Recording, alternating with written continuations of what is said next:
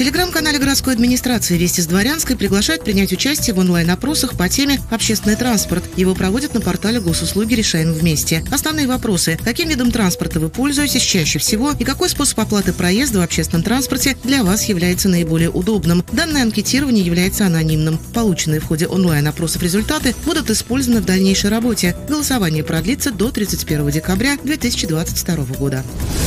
О том, что железная дорога – зона повышенной опасности, рассказывают в телеграм-канале Октябрьского района Самары. Нахождение на железнодорожных путях, переходах в неустановленных местах, хулиганство и необдуманные поступки всегда связаны с риском и опасностью для жизни. В избежании подобных случаев необходимо соблюдать правила безопасности на железной дороге. Подробности в карточке памятки на страницах телеграм-канала.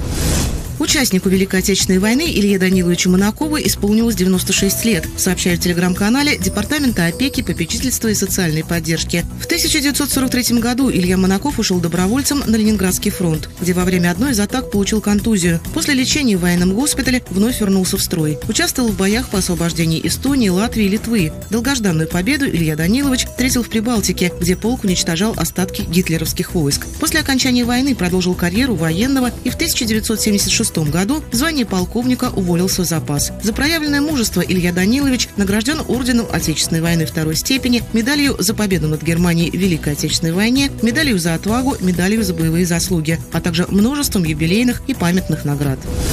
В телеграм-канале Красноглинского района напоминает, что по Пушкинской карте бесплатно можно посетить музеи, театры, выставки и даже посмотреть российское кино. Всем молодым людям от 14 до 22 лет положен лимит в размере 5000 рублей. Актуальное расписание мероприятий для всех регионов доступно на сайте или в приложении культура.рф.ру.